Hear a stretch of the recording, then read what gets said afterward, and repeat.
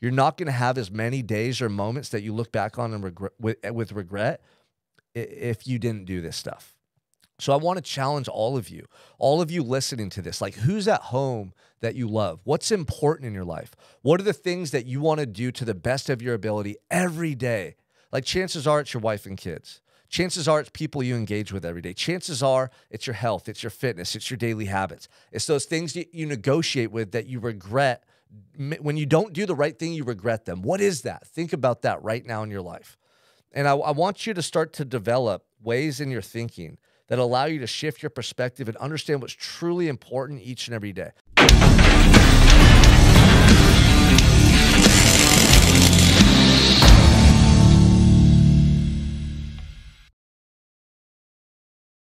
We're back with another episode of the Unstoppable Mindset Podcast. I'm your host, Sean Michael Crane. Thank you guys for tuning in. Now, real quick, before I drop this episode, I want to make sure that you guys are following me on all major platforms. Instagram is Sean underscore Crane underscore official. Go ahead and shoot me a follow. Send me a DM. Uh, on YouTube, it's Unstoppable Mindset. Please subscribe and share this content with anyone that's looking for inspiration. And the podcast is Unstoppable Mindset on all major platforms. You guys, let's share this message with the world. I'm on a mission to change the world, but I can't do it alone. I need your help. That's why I'm going to be dropping these motivational videos. I'm here to inspire the world and lead by example, but I need other people to help me to fulfill this mission, right? I know I can't do it alone.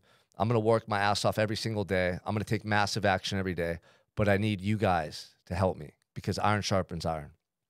So today, I got a really cool message I want to share with you. If you're somebody that wants to soak up every last drop from this life. Like if it was a lemon, you were just squeezing every drop, every memory, every opportunity, you know, every goal, every relationship, like everything good that this life has to offer.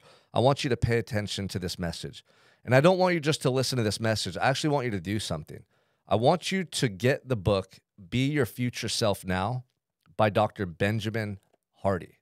This is such an amazing book. I want you to go and order that book on Amazon and start reading it right away. Be Your Future Self Now by Dr. Benjamin Hardy.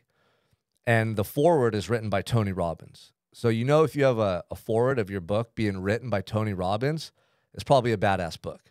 This one is for sure. And there's something that I was reading in there the other day I want to share with you. It gave me the idea for this, this message. The author's talking about, well, first of all, let me let me start off with acknowledging something. I know that all of you listening, you want to be fucking great. You want to be amazing in your life. I know that you don't want to look back with regret. I know that you want to accomplish great things in your life that make you feel proud of who you are. I know that you want to give your all to this life. And I know that you want to appreciate the journey and you want to feel gratitude in your heart. You want to soak up those precious moments with your loved one. You don't want to overlook a moment. You don't want to show up after a long day feeling stressed and overwhelmed and not play with your kids. I know that you don't want to make excuses and neglect your health. I know that you don't want to allow your marriage to dissolve and grow apart from your partner right now and end up in divorce. Like, I know you don't want those negative repercussions to take place. I know that you want to live a life of meaning and purpose. I know that because within all of us is that desire to create the ultimate life. But too many people get caught on that journey and they get stuck. They get stuck in that little place of mediocrity where people's dreams die, they give up, they make excuses, and they settle. You're not one of those people. Promise yourself right now that you will never quit and give up on your dreams. Promise yourself right now that you're willing to fight every day to become somebody that you're proud of. Promise me that you're going to show up to be an example and a leader for the world, for your kids, for your community, because that's what they need. And in your heart, I know that's who you want to be. You don't want to be a half ass, you don't want to be a loser. You don't want to be a has been. You don't want to be one of those guys looking back thinking, what if? I know you don't. So don't be that motherfucker. Don't be that guy. So check this out. The author of this book, Be Your Future Self Now, Dr. Benjamin Hardy. He tells a story. It's really cool. Pay attention, especially if you have kids. Lean into this one. So he's driving home from work one day, and this is at a time in his career where he was really busy.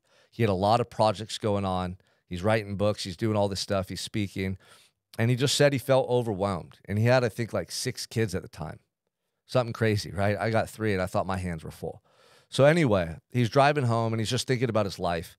And he realizes that he hasn't been showing up as his best self for his family. despite his intentions of wanting to be his best self, despite feeling so grateful for his wife and his children, he wasn't able to transfer that feeling to them and, and be the way he needed to be for them at the end of a long day. Now, those of you who run a business, those of you who are just crushing your goals, you're on a mission, I know you can relate to this. I know that there's times when you get home and your your full attention isn't there. Your wife's talking to you and you're checked out. You're you're just tired. You have brain fatigue. You've been making so many decisions all day long. You've been taking so much action. It's hard for you to be present. It's hard for you to be patient with your kids. It's hard for you to really feel the love and gratitude that you have for them in those moments. And as men, as entrepreneurs, as business owners, when this happens, it can be debilitating because we don't want to feel that way. We want to be the best. And let me ask you, when you are experiencing that, what do you do? Do you have recourse? Is there something you can do to, you know, flip a switch in your brain to shift your energy so that you can show up as the man they need in that moment? Because look at these moments, once they're gone, we never get them back. These moments, if you show up in, in your family's life today at 4:30 and you're a half-assed version of yourself, that's the man that you're bringing home. That's a day you're never going to get back. And your kids are going to grow older. You and the wife are going to grow older. This life is going to pass you by. Every day counts. Every conversation counts. Every moment where your kids are trying to get your attention, it counts. Put your phone away. Look them in the eyes. Show them you care. Be present, right? It's so important. But a lot of people struggle with this. I talk to guys all the time that I coach. And despite wanting to be that man, they struggle to actually become that person. And so, you know, the author of this book, Be Your Future Self Now, Dr. Benjamin Hardy, he's talking about one day he's thinking about this exact thing that's happened in his life. And he coaches people on this. He speaks about it. He writes books about it. But he was still suffering or succumbing to, you know, this weakness. And so what he did is he pulled over and he just thought about his future self. He imagined himself 20 years in the future. If if that man, the man 20 years older, 20 years into the future, had the opportunity to come back and live a day in his life then, how would he show up for his kids that day? How grateful would he be to spend time with them? How excited would he be? How present would he be? He wouldn't be on his phone. He wouldn't be thinking about work and other bullshit. He'd be so grateful to see his little children running up to him. So grateful to share those precious moments that have been gone for so long. It would be so important to him that nothing in the in the world would matter more than those moments. And that's how he would live that day or at least that last part of the day, right? So, what the author describes doing is he envisioned this and he thought about it and he started driving back home. You know, he was pulled over on the side of the road. He drove home, and as soon as he pulled into his driveway, his little daughter was running out to him. And instead of getting out of the car and be like, oh, give me a second, or feeling overwhelmed, he jumped out of the car and gave her a big hug and just squeezed her tight. And he said, Hey, you want daddy to chase you? Go run down the sidewalk. I'm going to chase you. I'm going to get you. And he started playing with her, right? And he was running up and down the street playing with her, just fully immersed in the moment. Like he cherished that moment. And it was evident in the way he was behaving, how he was treating his daughter, and his energy, right? The love that he was passing to her. And then he describes going inside, and it was a madhouse, you know? His kids were teenagers and they were just going wild and that's what teenagers do. But instead of getting overwhelmed or upset and telling them hey quiet down. Hey you know i'm home. I've had a long day. Like go take it to your room he just observed them. He describes just observing them and being you know enamored with like their conversations their demeanor and just showing real interest in what they were talking about what they were saying and what they were doing. And it was a completely different approach than he would have normally have taken because he pulled over to the side of the road and imagined that he's coming back in time from 20 years in the future, getting to live that one day and spend it with his family. And the way he approached his wife and treated her, the way he approached his kids, everything was different because he was able to shift his perspective prior to coming home. Now, this is something that I'm always working on. I'm always looking for, you know, these little tricks, these hacks, these way, ways to shift my perspective and adjust my mentality accordingly so I can make every moment of every day count. Now, look, you guys, we're never going to be perfect. We're never going to get a 10 out of 10 across the board every day for the rest of our lives. There's going to be moments where we lack awareness. There's going to be moments where we do something that we regret. There's going to be moments where we wish we would have behaved differently. But when you start to think this way and you start to really work on your perspective and your mindset, you understand what's important. You're not going to have as many days or moments that you look back on and regret, with, with regret if you didn't do this stuff. So I want to challenge all of you, all of you listening to this. Like, who's at home that you love? What's important in your life? What are the things that you want to do to the best of your ability every day? Like, chances are it's your wife and kids. Chances are it's people you engage with every day. Chances are it's your health, it's your fitness, it's your daily habits. It's those things that you negotiate with that you regret. When you don't do the right thing, you regret them. What is that? Think about that right now in your life. And I, I want you to start to develop ways in your thinking that allow you to shift your perspective and understand what's truly important each and every day. Because it's so easy for a week to pass you by, a month to pass you by, for your kids, you know, younger years of life to pass you by, never really applying this mentality and getting the most out of life. Like, remember, your kids are only young once. Those first 10 years of their life, if you live to be 100 years old, that's just 10% of your lifespan. Like, dude, it's 10%. That goes by so quick in the blink of an eye. Like your kids are young once. That time in their life is so precious. Make sure that every day counts. Make sure that you're showing up as a superhero for them. Make sure that you're coming home with the energy, the demeanor, the attitude that they need to feel your excitement, to know how much you love them, so that your gratitude aren't just words you speak, but actions that you depict every day in the way that you live. And same for your wives, man. Every day you should seek to do things that make your wife admire you. Do things that make your wife inspired by you. Do things that you to, to make your wife know definitively that you love her so much, right? Like by the way that you behave, the little things that you do. Don't let these moments pass you by. You know the things I think about every day in my life is today I'm going to do stuff to make my wife admire me.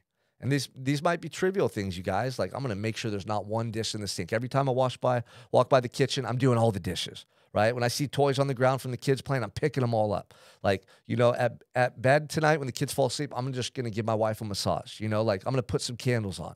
You know, um, like I'm going to do the little things. Maybe I'm going to plan a surprise trip, a little getaway for just the two of us. Like when you think about the people you love and it's on your mind, you're going to you're going to recognize these little things. They're not going to just pass you by and you're more likely to act upon them.